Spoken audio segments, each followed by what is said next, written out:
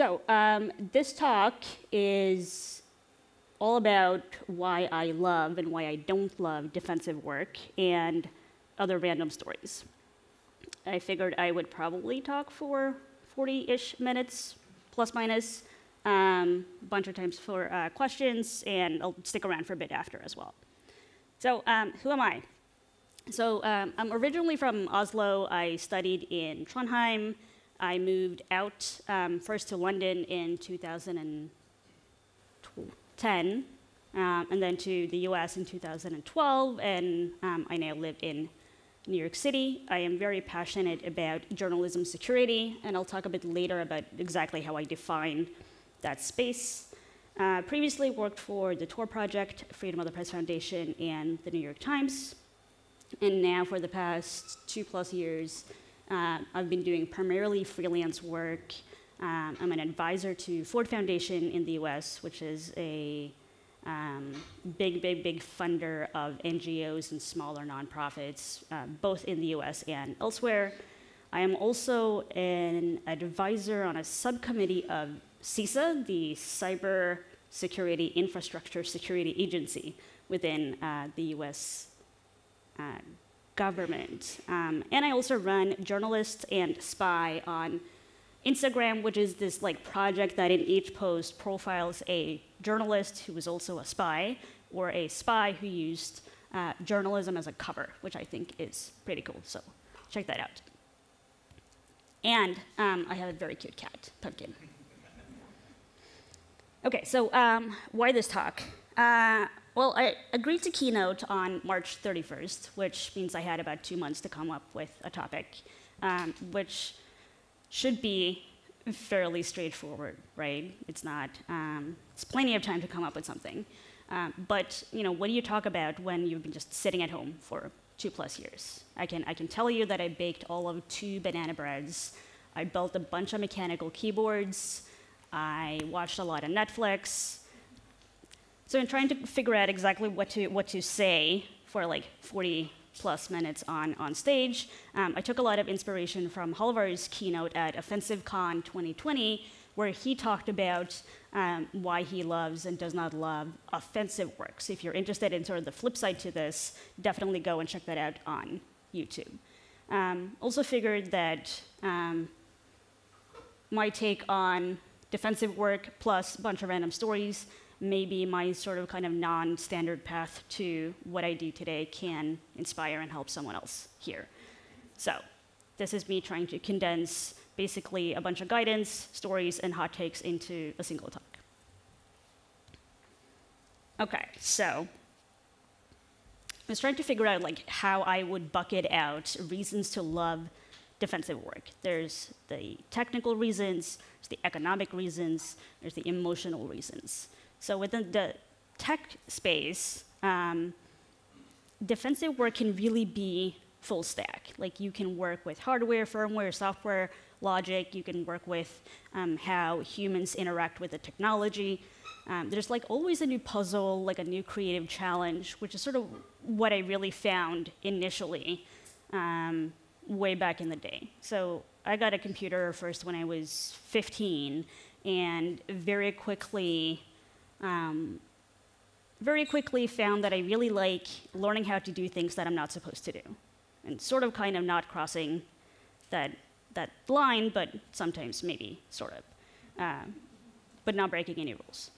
Um, and so I always like really, really loved like that puzzle and that creative challenge and just the amount of different things that you can learn economic, I'll get back to that a bit later, but bottom line is that everybody needs good security, and for emotional reasons, everybody deserves good security, and I'll talk about the difference um, later on. And of course, it's a facet, is a really, really good opportunity to do really good work with good people for good reasons, which I really enjoy. So, way back in the day, 2009, that was um, before I started my, the last year of my bachelor's. Um, I needed a summer job. I, was, um, I had heard about Google Summer of Code, which is effectively Google giving nonprofit organizations funding to take on summer interns. Um, it's still around. You should check it out. Um, so I was like browsing the Google Summer of Code website, thinking like, surely there is something here that I can apply for. I found this thing called Tor, and I just initially thought it was like really, really cool that here's a tool that allows you to be anonymous online. Um, and that was it. I, I didn't really think about. Is that someone's phone? Okay. At least it's not me. Maybe it's NSO.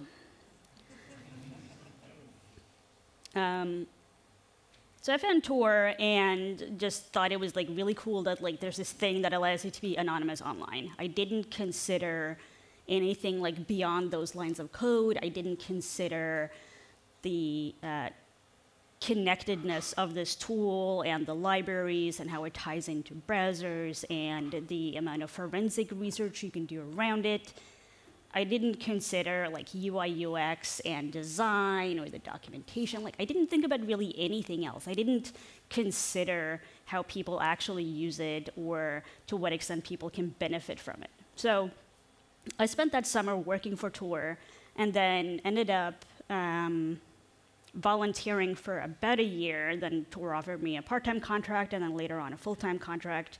And I think in total I spent about four years with Tor. And so over those four years, I really got to do a lot of different things. And I think that was the benefit of working for like a, either like a startup or like a small um, nonprofit is that you do, it's, it's sort of like an all hands on deck. You really do get to try out a bunch of different roles.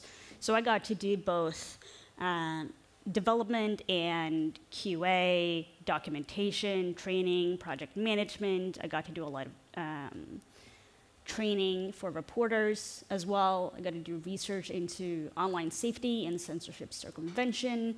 Um, like during the Arab Spring, a lot of people found Tor and figured out how to then use that tool to get access to censored sites. Um, the governments in the different countries um, found different ways to then try and block Tor, so we did some research to try and figure out, well, how do we get around this? Um, and it really wasn't until I found Tor that I really got to understand just um, how important that tool is for people elsewhere and just what it means to them and what it enables them to do. And so in, I think it was in 2011, Tor got funding from, if I remember correctly, the US Department of State to train reporters. And I ended up leading that project and the, the goal was really to teach reporters how to use Tor to be safe online. But we also found very quickly that it doesn't make a whole lot of sense to teach someone how to use Tor if they're not already familiar with passwords, two factor, software updates, all of those other good stuff. Um, and so we built like a curriculum around it, um, which is sort of how I then shaped that um, into my de definition of uh, journalism security. And so that's like how I got onto this like track of working specifically within that space. Because after Tor, I ended up working for um, Freedom of the Press Foundation for a bit, doing sort of kind of the same work.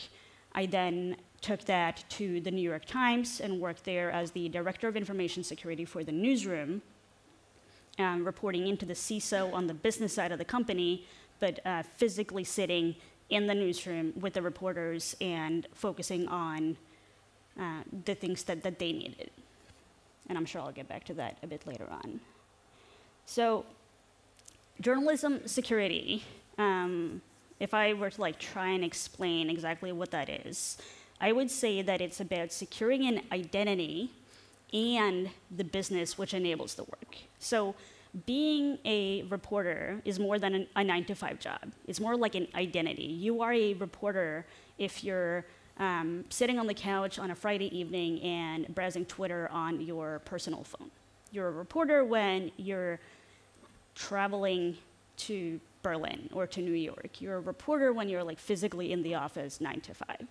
And so securing that means that you do need to account for not just the corporate systems and accounts, you do also need to consider um, their physical safety, their emotional safety, um, any sort of legal challenges associated with their work, um, and also their online accounts, and, and, that does extend to personal online accounts as well, like so social media, for example. Um, and so that is a much, much bigger space than I think what um, most corporations view, because typically it's the, the business will secure the corporate stuff, but then who's responsible for the personal stuff, right? And, and that's sort of where, um, where this space exists. So within the business that enables the work, I put it into sort of three buckets. So you got the newsroom with your reporters and their sources, their communications, whether that's on a work device or a personal one. Um, you got any sort of notes, drafts, stories, the places that they travel to. All of those pieces, all of those challenges exist in the newsroom, and someone needs to think about how do you actually go about securing that type of work.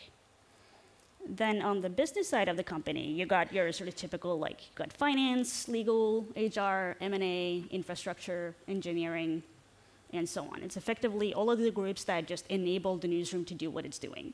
So you got the engineering and infrastructure teams that are maybe hosting email, though that's not super common these days, but definitely um, developing, maintaining the CMS, for example.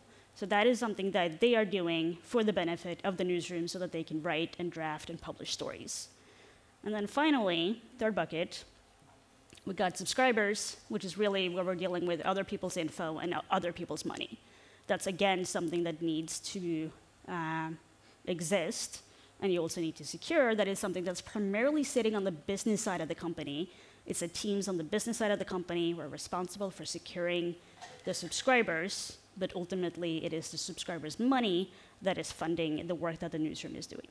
And so when I say that I work on journalism security stuff, a good portion of that exists within the newsroom bucket. I do work a lot um, directly with reporters on someone is traveling, someone's communicating with a source, someone needs help digging into something else.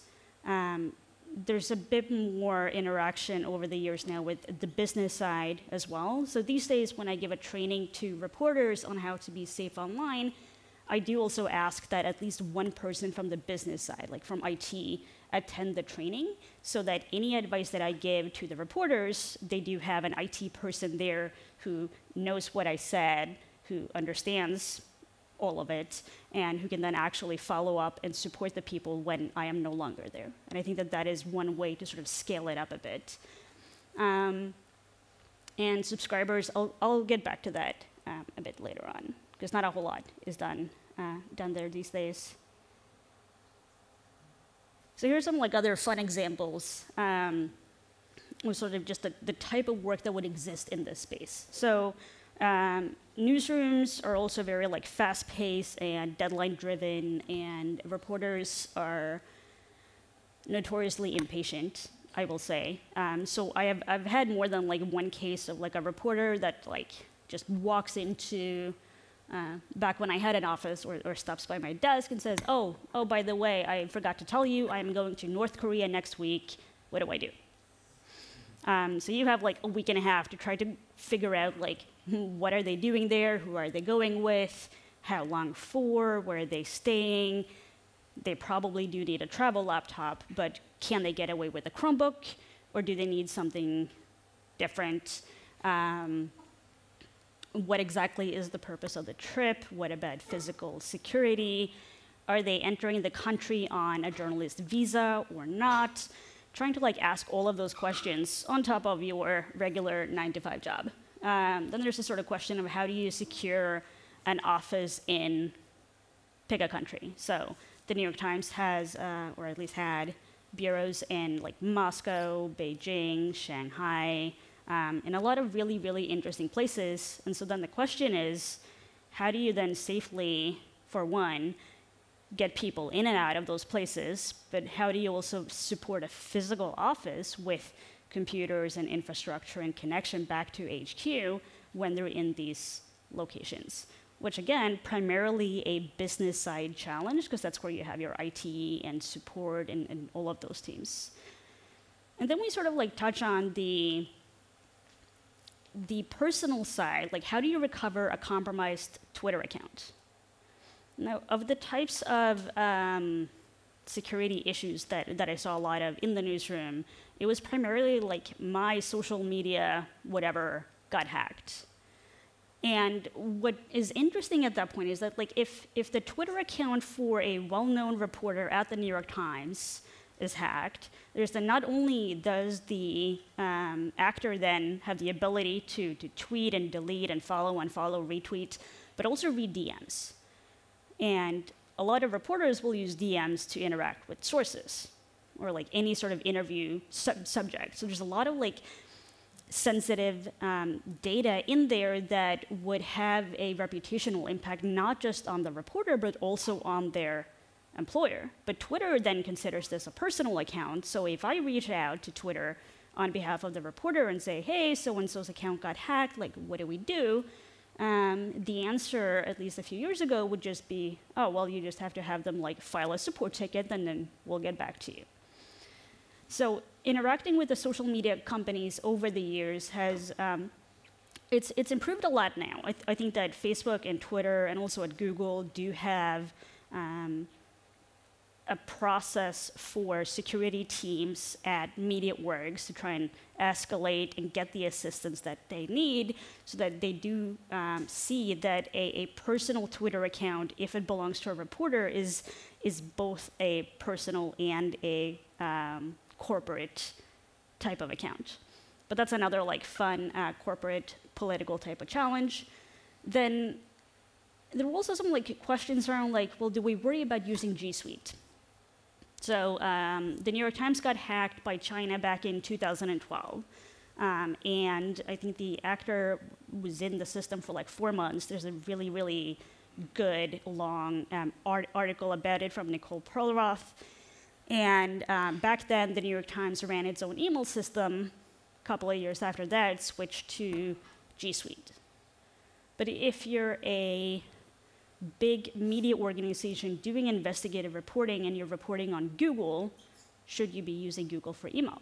Should you be using Google for your notes, for your drafts, for your photos, for all of your future plans? Same with Slack. So those are sort of other questions that sort of came up, and we tried to figure out like to what extent is this actually a concern for us? Um, how paranoid should we be?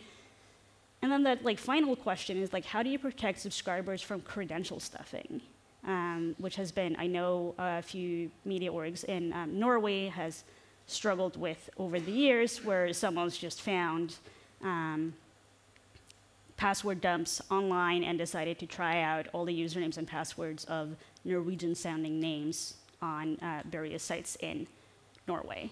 And that then goes into this like big question of like, who's responsible for, uh, for securing subscribers? I don't know how many uh, media orgs today offer two-factor for subscribers, but that should definitely be a thing. The bottom line is you can, you can only do so much, right, within like a nine to five day. And before I went into the Times, I definitely had this like view of like securing a reporter should look like this. If they're traveling to North Korea, it should look like this. But then you get there and it's just like incredibly like fast paced. You don't necessarily have all the resources you thought you would have. The reporter is certainly not going to be patient enough to use whatever setup you had concocted in your mind. They may not even want to use a Chromebook. So like you sort of cobble together the best possible thing that you can, and you just sort of figure it out and you make it work. Um, which is part of what I, what I really, really love about this type of work is that there are so many like curveballs and challenges and like ad hoc solutions that to some extent you just sort of kind of wing it. Okay, gun hacking, which was pretty fun um, because why not? Um, so I've always been really interested in like stereotypical American things. So back in 2014, uh, my, my husband told me, and we lived in DC at the time, he's like, Well, you've, you've never been to a gun show in the US. Uh, and so he decided that, that we should go. So we did, and while there, I, I ran into a booth from a company called Tracking Point. And they had, for one, they had this like uh, video demo, they had the rifle there, they had like a brochure telling us all about it, talking about how it like has um, Wi-Fi and mobile apps and USB ports and it does software updates. And it was like, well, that sounds sounds interesting. So like in the in the car on the way home, uh, I, I just casually asked my husband like, hey, we should we should uh, buy one and hack it and present at Black Hat and DEF CON next year. That was always a bucket list item of mine. And he's like, sure, why not? So we, we uh, I'll, I'll, I'll, say that the rifle was $13,000. Um, and, and we bought two because we had to because we had to take one apart uh, and then we weren't sure if it was going to actually work after. So we so we bought two. We took a Boleto loan we bought two. Um, and it was really a co combination of hardware and software where my husband had more experience with the hardware side of things i do more of the software side and then um, a good amount of it was like i don't know what this thing does but let's push a button and see. Um, and so um, I also did reach out to some folks at the Electronic Frontier Foundation just to get some legal advice around what it is that we were doing, making sure that no one was going to sue us at the end of it. Um, but I think I a on the next slide. So here's, here's what it looks like. Um, so it's a standard um, Remington rifle, and then Tracking Point had added the scope with the computer and also the red button by the trigger. So the red button allows you to tag your target, meaning once you've tagged the target, the trigger is not going to release unless that little computer has figured out that if the trigger is released at this point in time, you are going to hit your target. So it's like sniping for dummies. Like this was the first time I actually fired any, any weapon and I hit my target 100% of the time.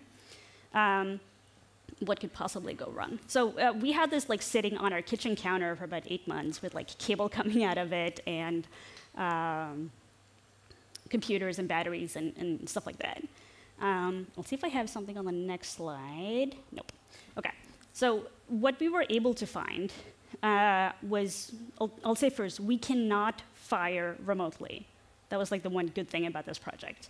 Um, what we could do is we can lock the trigger so you cannot fire at all we found a way to create custom software updates because uh, the company had um, not properly done um, signature checking on their GPG encrypted uh, software update. So once you had access to the file system on this device, you could effectively just reconstruct a software update for any other tracking point rifle. So we just made our own. Um, we also found that one of the mobile apps allowed you to, to sort of plug in values for um, wind and temperature and the type of bullet that you were using. And so we could then, by bypassing the app, tell that computer that the bullet was heavier than it really was, which means that when it tries to calculate when to release the trigger, um, it has the wrong numbers to start off with, and we can cause you to like misfire two and a half feet to the left or to the right. So you will just miss your target every single time. Um, and the company, like on the day that we presented at Black Hat and uh, yeah, Black Hat in 2015, uh, the company issued this like official statement on their website that read, "It is safe to continue using the Wi-Fi on your rifle, as long as you're sure there are no hackers within 100 feet." And I think that they've since gone out of business. So.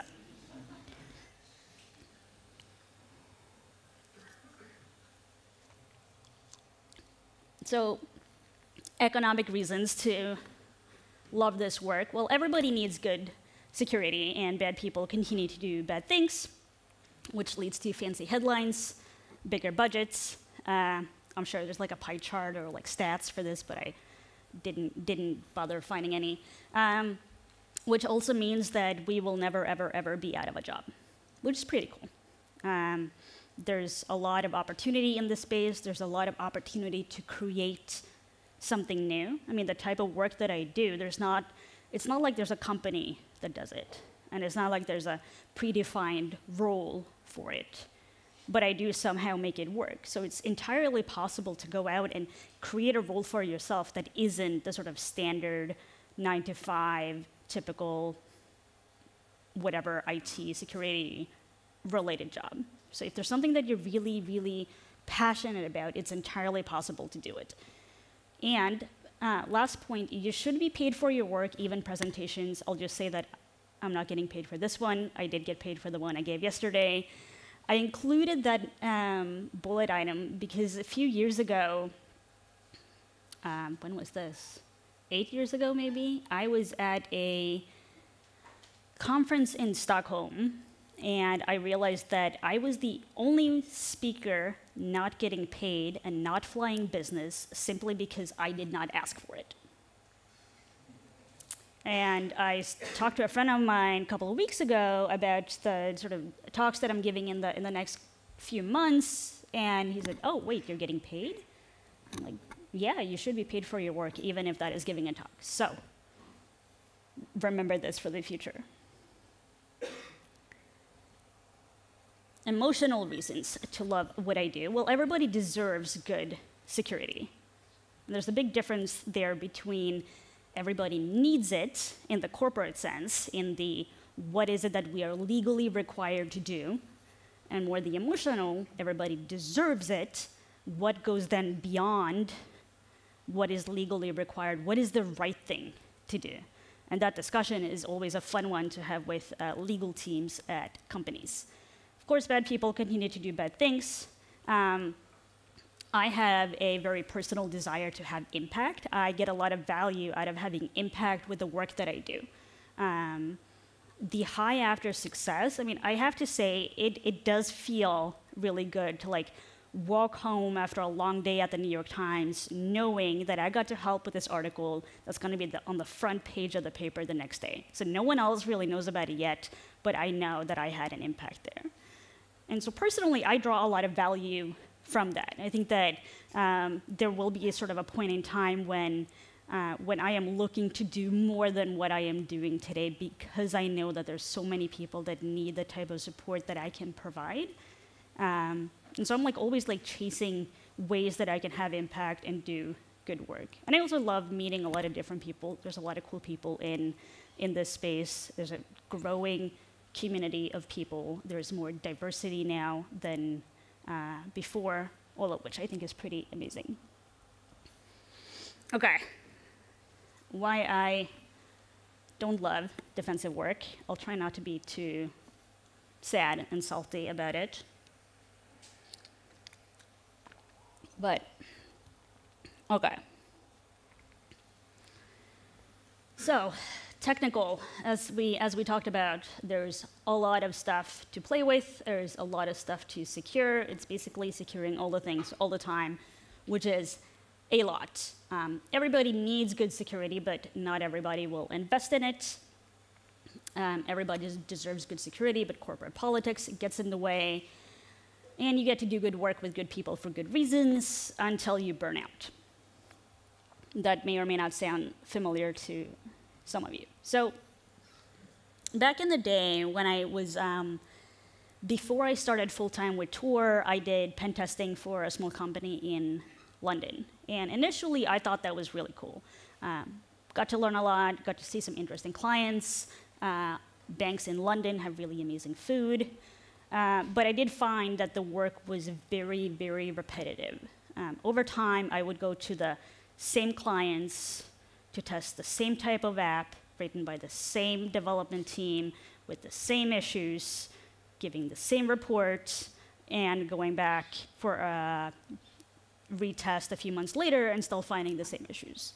So over time, I just like, for me, I just didn't find any any joy in that. I didn't find that I was like actually making a difference. I didn't feel like the work I was doing had any impact. There's also a huge attack surface um, out there. So like working with a reporter who comes to you and asks, like, you know, what do I do about NSO? How do I make sure that my phone is not hacked? How, how do I make sure that I can safely travel to China and no one is going to come after me or detain me or take my laptop? Like, you have no guarantees. You can just do the best that you can. There's also an insane amount of technical debt. It's like this thing that we all have that costs money and time and people and resources to do something about. No one wants to do it, but it does present a security challenge as well. Security at scale is really, really, really hard. Um, I think that one of the examples I can, I can give is like if your um, option is between asking 1,200 people to turn on two-factor for the email versus turning it on for them by default, turning it on by default is certainly the better option. Um, at that point, it's just enforced. It is at scale. You don't have to chase 1,200 people for the next 2,000 years. But doing that across this like gigantic attack surface is really hard, and there aren't any sort of perfect solutions. I'll also say that within this industry, like we're not necessarily incentivized to solve security. Because security products don't necessarily work well with each other. You'll have one that gives you A, you'll have another one that gives you B. Maybe they sort of kind of play well together, but they probably won't. There's like threat intelligence sharing, but only among people who are really good friends and other special people. Um, you get some of the information that you need, but not all of it. So companies are here to make money because security is a big problem, because there is this huge attack surface, but we're not really incentivized to actually solve the problem for real.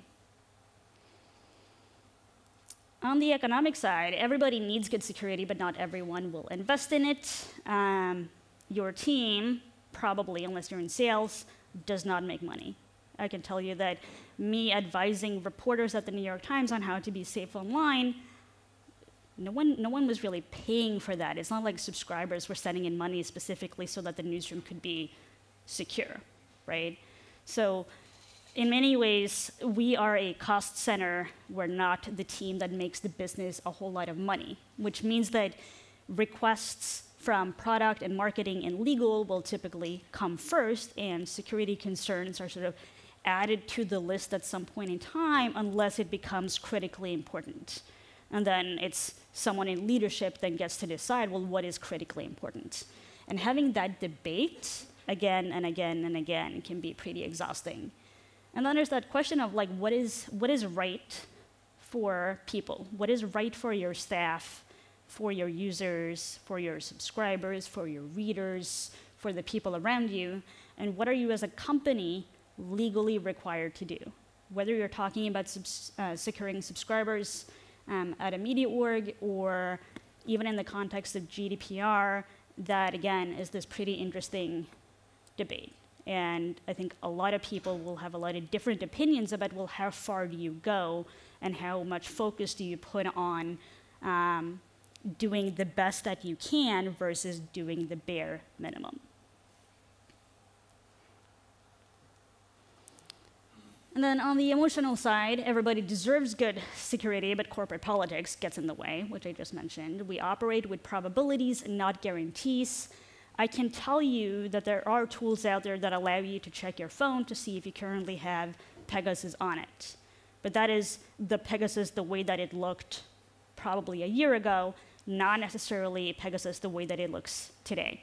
I cannot guarantee that your device is not compromised. I can do the best that I can to help you check to see if that is the case.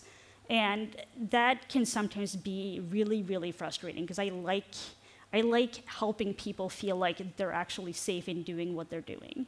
Um, I don't want security to be something that they have to worry about, but knowing that we are sort of in that state all the time um, can sometimes be pretty, pretty sad. And like, there's no end state, which I think can be both a plus and a minus on one end, there's no end state, which means that we constantly learn and improve and we get to do better and we come up with new solutions and new mitigations. At the same time, it does mean that we have this like constant arms, arms race with uh, people who do offense um, and other attackers. Um, and again, there's no guarantee. So any, any sort of mission-focused work is also hard. There's a lot of people that deeply care about what they do. There's a lot of people that have sometimes very different opinions on what is right and what is what is right and how far you go to make sure that you implement that and, and what is good enough in that specific case. So here's, um, here's my uh, final slide from my talk yesterday, actually, um, just to sort of highlight the example of um, some of the challenges in this space. In, in, in, looking at how media orgs get hacked, I sort of looked at the New York Times in 2018, Tribune had ransomware in 2018, Dagbladet, Schibsted, and Amedia had some issues in 2019 and 2021. And if you, if you look at how reporters are hacked, we're talking usually a compromise of a social media account or a compromise of a device, and then sometimes a zero day like Pegasus. But if you look at how media organizations get compromised, we're looking at phishing, phishing and or an outdated system, um, leaked passwords, most likely lack of two-factor authentication, um, again, Schibsted leaked passwords, likely a lack of two-factor authentication, and then Amedia with ransomware last year, phishing and or outdated system. Like, we know how to address phishing. We know how to address outdated systems. We know how to protect against ransomware. These are not unsolvable, really hard problems. We know how to address them, but then we get back to this challenge of like, well, what is the right thing? What are we legally required to do? Do we have time? Do we have money? Do we really have to do this right now? And so even if we know what needs to be done, there will be other people somewhere higher up in the corporate stack uh, that decide that just now is not the time to spend the people and the money and what have you to do these types of things, which can be really frustrating. So where am I going with this like a very uplifting uh, coming up to the end of my talk? Um, do something different, uh, also known as how to avoid burnout. Um, over the years, I've, uh, I've decided to sort of try something new once a year just to challenge myself a bit. So about four and a half years ago, I decided to try pole dancing, which I absolutely love, and I still do. I tried improv, which I absolutely hated, but I went, I bought this like pack of like four classes, and I went, and it sort of feels like when you go to the dentist, you go because you said you would go, but you're not really enjoying it. Um, scuba diving is still on my list for this year. Did the gun hacking, got my motorcycle license a couple of weeks ago, which I will tell you in the US is absolutely terrifying.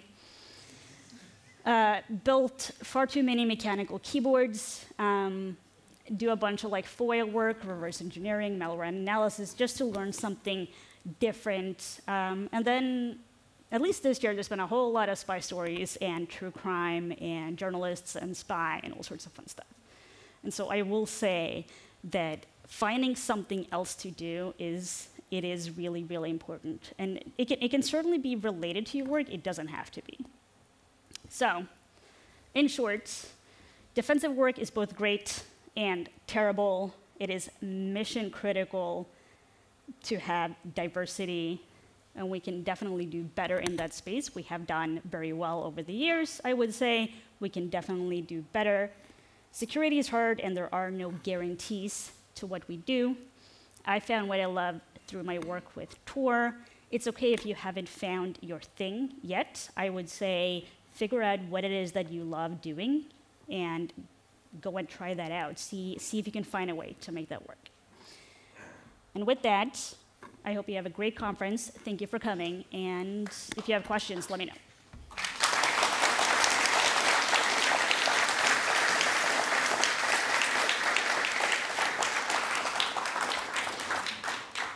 Thanks so much, Rune, for sharing your experience in InfoSec. I think a lot of us can relate to the journey that you you took and uh, wanting to have an impact is a common thread for a lot of people uh, in this community, and I think uh, we've been there. So uh, I, am I'm guessing that uh, you you found a way uh, to uh, to keep the positives outweighing the negatives in the end, and uh, that's why you're still here with us today.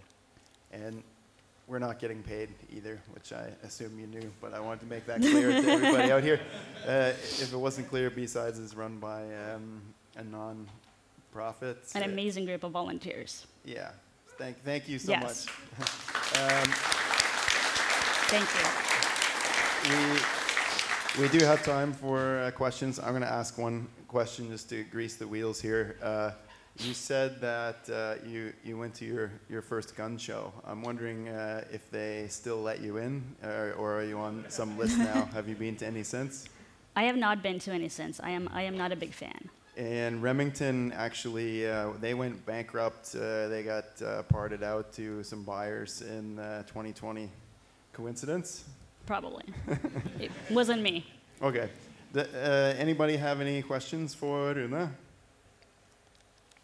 If not, I'll be around later. So if you want to Uh, chat in private, we got one in the back. Come chat. Oh, okay. Coming down. Keep your hands up.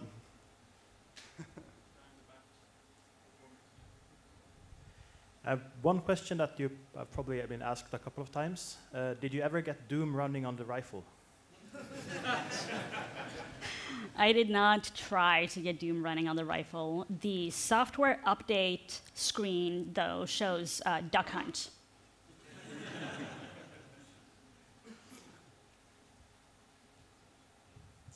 Um, you talked a little bit about uh, spies and journalists.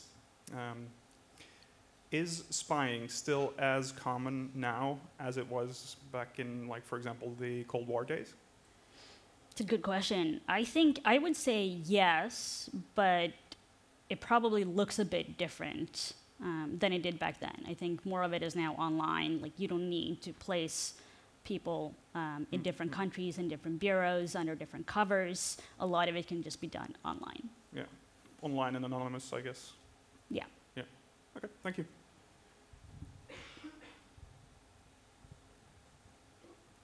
Mr. Brown. Thanks, Ryan. Um, very briefly, when you're talking about your security work towards journalists, um, was it normally ma- aimed at the digital side of things? So how to secure their devices, how to secure their accounts and that? Or when also some of your work and you're advising journalists traveling to North Korea, Moscow, etc., you'd give them advice on how to secure their person as well. Um, how did you balance that? Sure. Um, so I've always just focused on the digital side of things. So before, let's see, back in 20, early 2016, I took a hostile environment uh, training course focusing on physical security training, just to have some sense of what it is that the reporters would go through.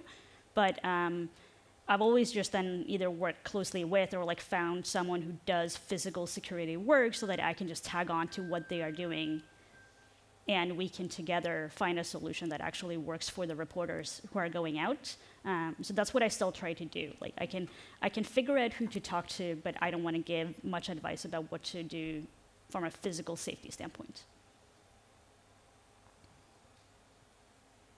Questions?